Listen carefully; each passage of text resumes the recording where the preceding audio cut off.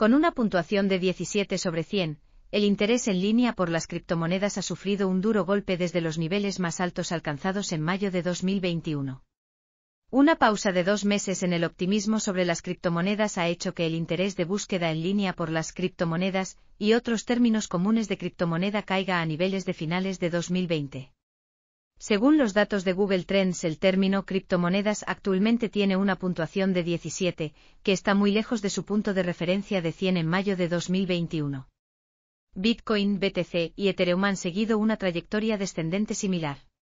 Sin embargo, el interés de búsqueda por estos términos ha estado en un declive relativamente constante desde mayo de 2022, aproximadamente un mes después de que gran parte del ecosistema Terra Luna se derrumbara. A principios de noviembre se produjo un pequeño repunte cuando se hundió el exchange de criptomonedas FTX. La caída del interés se produce cuando Bitcoin se ha mantenido estable en torno a los 28,000 dólares americanos desde hace 10 semanas, una acción de precios que el CEO de Galaxy Digital, Mike Novogratz, describió recientemente como displicente y causada por la falta de entusiasmo institucional en este momento.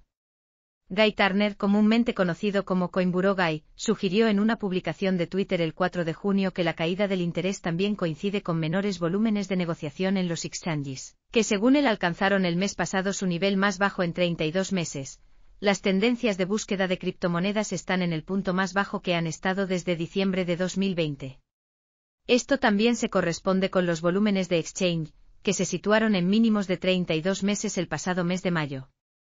Apatía, PIC, Twitter, con barra diagonal UPOMGEN el índice de miedo y avaricia de las criptomonedas de Alternative también cuenta una historia similar. El sentimiento del mercado ronda su puntuación actual de 53 en la zona neutral, desde hace casi un mes.